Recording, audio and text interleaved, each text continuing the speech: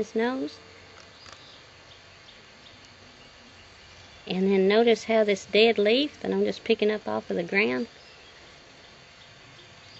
Notice how this green leaf is this, or this dead leaf, it's not green leaf, but notice how this leaf, this dead leaf, is the same color as the coloration on his back. And he's being really cooperative this evening. Thank you, little frog, for letting me show this. It's the same burnt umber and raw sienna, a little bit of burnt sienna in there. Same coloration for the spots on the back of the frog.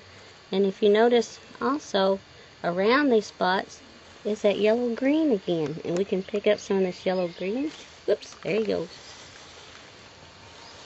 want to use a frog as your focal point of your painting, but you may want to use a frog for an accent in your painting.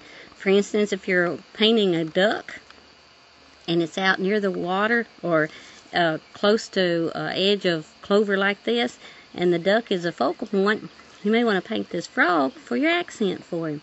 And uh, you could use him in different, oops, this, that to walk very softly and don't leave any footprints out in the wild because you're trespassing upon somebody's home, like this little frog.